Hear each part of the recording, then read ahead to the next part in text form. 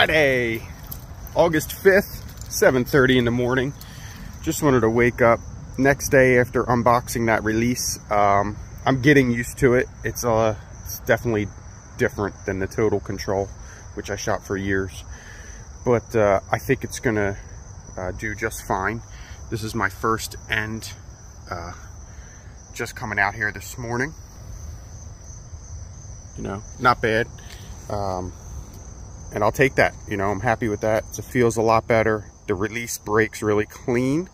And uh, hopefully we can make a good showing at Nationals. Now we just got to put some practice in now that we got everything ironed out. I'll, uh, I'll see you guys next time. Thanks.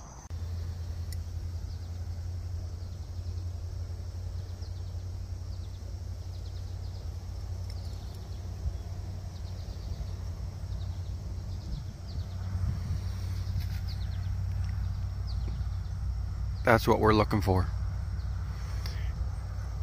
Made a sight adjustment after these two shots. That's a strong group. Out with the old, in with the new. Thanks, Braden.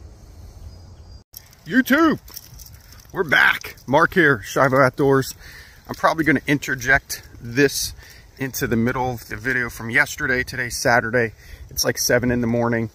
Um, like I said, I got that release worked out and it feels great. Um, I'm finally feeling like everything is working. And uh, here's the result. Second end of practice. Um, you know, I shot nine arrows, seven out of nine or tens. Not sure about this one, why it's out there. Um, but all the shots are feeling good. The release feels good. I finally figured that out, which took a little bit, but uh, I'm excited. You know, I really think I'm going to have a good showing next week at Outdoor Na excuse me, Outdoor Nationals. We have five days left. Today's Saturday. Um, so I'm going to try and practice as much as I can. Probably take Tuesday off because um, I work all day anyway.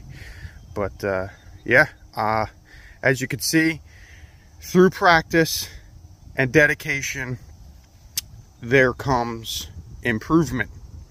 Uh, never lose hope.